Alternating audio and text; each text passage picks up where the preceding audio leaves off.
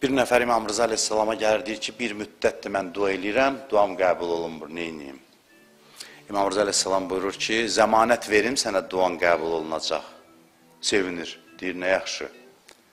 Ondan sonra imam bir söz deyir, bəs Allah sənə zəmanət verir, ona inanmırsan, deyir, çağırın, cavab verim. Mən deyirəm, mən İmam Rıza deyirəm, həvəslənirsən, inanırsan. Allaha inamım mənim qədər deyil, Allah sənə zəmanət ver, bax, çağırın, cavab verim. Dua edin, cavab verim. Deyir, bu ümidlənir. Sən demə, bu ümid azıymış bunda. Sonra imam ona bir söz deyir, deyir, sən razı ol, mən zəmanət verirəm ki, duan qəbuldur. Duadan qabaq ilahi razıyam, amma bu da olsa yaxşıdır. Razılıq halı ilə dua elə, mən də zəmanət verirəm, duan qəbul olunsun. Rəhmət çoxalır bu ayda bu gözəl.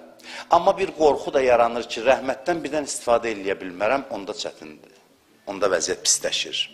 Onda mən hörmətsizlik eləyərəm Allahın rəhmətinə, ədəbsizlik eləyərəm. Bir böyük adamı, bir böyük adam adamı çağırır, deyir, gəl. Bu bir fürsətdir də, böyük adam səni evinə çağırır. Böyük bildiyin, hörmət elədiyin adam. Fürsətdə, amma eyni zamanda getməmək nədir? Getməmək böyük bir hörmətsizlikdir. Etinasızlıqdır. Bir böyük adamı sındırmaq istəyirsənsə, dəvətinə yox denən. İskəndər, Makedoniyalı İskəndər haqqında danışırlar. Diogenə yaxınlaşır. Diogen zahid bir adam olur. Deyir, eşitmişsiniz bunu, çox eşitmiş olarsınız. Deyir, günün altında uzanıb, zahiddir də, bütün günü çöllərdə, bayırda. Həm də filosofdur Diogen. İskəndər də şahdır, hökumdardır. Bunun yanından keçəndə gəlir, deyir, dayanır onun başının üstündə. Deyir ki, mən İskəndər sənin ayağına gəlmişəm. Nə istəyirsən məndən istə verim. Deyir, bu baxır ona etinasız, deyir, günəşin qabağından çəkil, günəşin qabağını alma. Deyir, bu əzilir ruhən. Ayrılır ondan, deyir ki, mən İskəndər olmasaydım, Diyagen olardım. Bu məni, elə bil ki, bu etinasızlığı ilə sındırdı. Ola bilər bu düz yeridir. Burada etinasızlıq yeri var idi. Amma mən bu misalı nə üçündüm? Mərhəmətli və qüdrətli Allah. Sənə deyəndə ki, nə istəyirsən verim, etinasızlıq eləməyin onun böyüklüyünə qarşı hörmətsizliyi. Onun böyüklüyünə qarşı sayğısızlıqdır. Allahın böyüklüyünü rəhməti ilə bir yerdə tanımaq önəmlidir. Bayram namazının qunutunda baxın, Allahümmə əhləl kibriya evəl adəmə. Deyir ilahi, ey əzəmət və böyüklük sahibi. Sonra deyir və əhləl cudi vəl cəbərud. Ey yaxşılıq edən, yaxşılıq sahibi, bəxşiş edən. Əvvəl əzəmətin diri, sonra bəxşişin diri. Yaxud da Ramazan ayı daxil olanda gündəlik dualar var. Deyir, ya Aliyyü, ya Adim. Ey uca və əzəmətli. Sonra deyir, ya Qafuru, ya Rahim. Uca və əzəmətli, sonra deyir, ey bağışlayan və mehriban. Bu ay çox əzəmətli bir aydır və bunun əzəməti bundadır ki, rəhmət çoxdur bu ayda. Rəhmət çoxdur. Rəhmət çox olanda adam daha çox təvazökar olur. Təsəvvür edin bir böyük adam evinə qonaqları çağırıb süfrə açıb. Hə? Adamlar getmir qapısına. Sonra süfrəni yığır, özü tək qalır. Süfrəni yığır. Bu necə hörmətsizlik olar? Ramazan ayında da Allah bizi çağırıb, təkcə oruç tutmağa çağırmayıb. İbadətə çağırır, duaya çağırır. Deyir, gəlin də sonsuz xəzinələrim sizin üzünüzə açıqdır. Rahat şəkildə gəlin mənim qapıma, hər biriniz. Ona görə adamı qorxu bürüyür. Bu rəhmətin qorxusu gəlir ki, bu geniş rəhmətdən birdən düzgün istifadə eləməsəm necə olacaq? Allahın rəhməti adamı qorxudur, adamda təvazu halı yaradır. Allah da xoşlayır insanda bu təvazu halı yaransın. bir nəfəri peyğəmbərlərdən biri edama məhkum eləyir. Bir iş görüb ki, edam olunmalıdır. Edama məhkum eləyir və e, həmin adam dar ağacına aparırlar. Allah Peyğəmbərə deyir ki, ged ona denən ki, sənə dua eləsin. Deyir, Allah, bu günahkar, bu edama məhkum olan adam, mən buna deyim dua eləsin. Deyir, bəli, indi o sınıb, təvazu halındadır, tövbə halındadır. Allahın xoşu gəlir onun halından. Edam cəzası öz yerində, amma bunun halı yaxşı haldır. Bu halda sən Peyğəmbər də getsin dua eləsən, onun sənin barəndə duası qəbul olunacaq.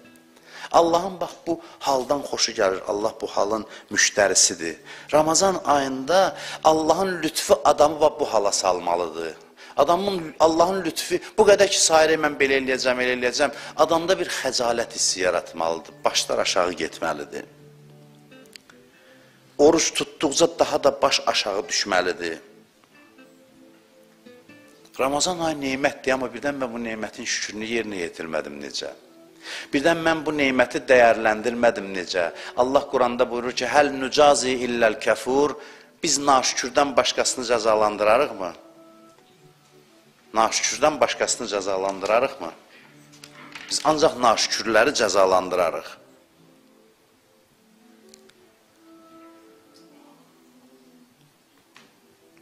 Bax, Ramazan ayının çətinliyi bundadır.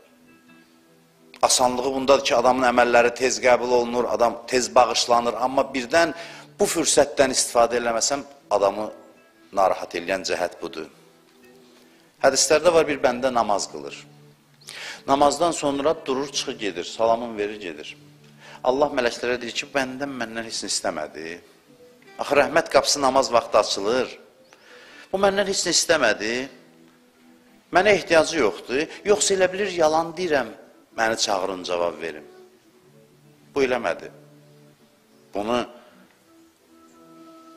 bu mənə etinasızlıq elədi. Ondan sonra buyurur ki, onda mən də onun namazını qəbul eləmirəm. Görürsünüz, rəhmət gəldi həmin vaxtda. Sən ki, rədd cavabı verdin, elə belə olmur. Ondan sənin namazın qəbul olunmur. Nə zaman eşitsiniz ki, xüsusi rəhmət qapısı açılıb, biraz da ehtiyatlı olun, diqqətli olun mərhəmətli olun. Bu ayda Allahın mərhəmətinə mərhəmətlə cavab verin, Allahın mərhəmətinə məsuliyyətlə cavab verin.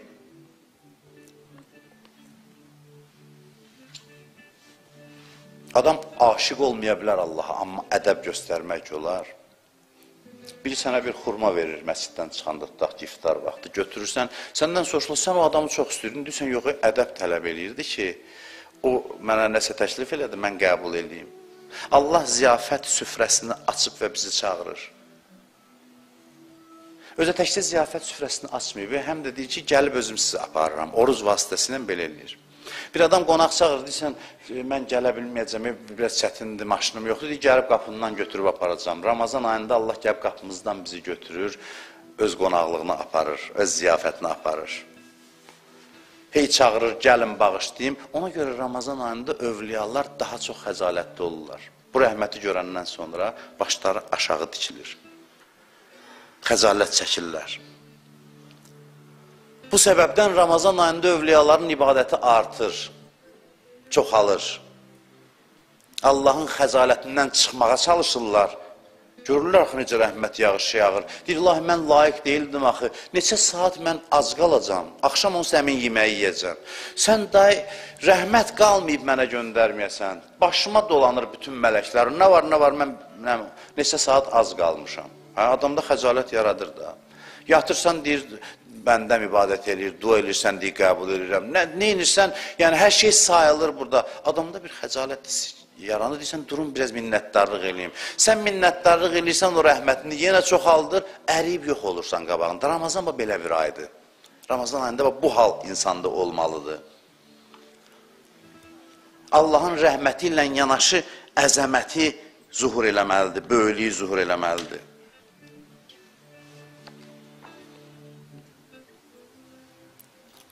Allahın rəhməti təkəbbürü əritməlidir.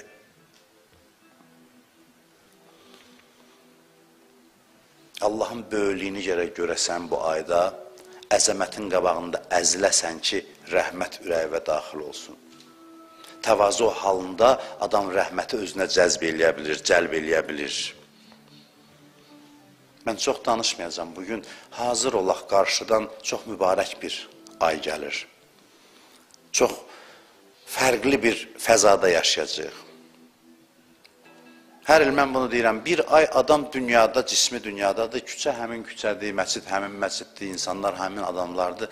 Amma görürsən ki, cənnətdəsən elə bil. Cənnətdəsən elə bil deyil, bu, yəni elə həqiqətən də cənnətdəsən. İnsan bir qədər cənnəti təcrübə eləyir dünyadaykən. Heç bir dillə ifadə eləmək olmur bu ayda, Ramazan ayında olan halları.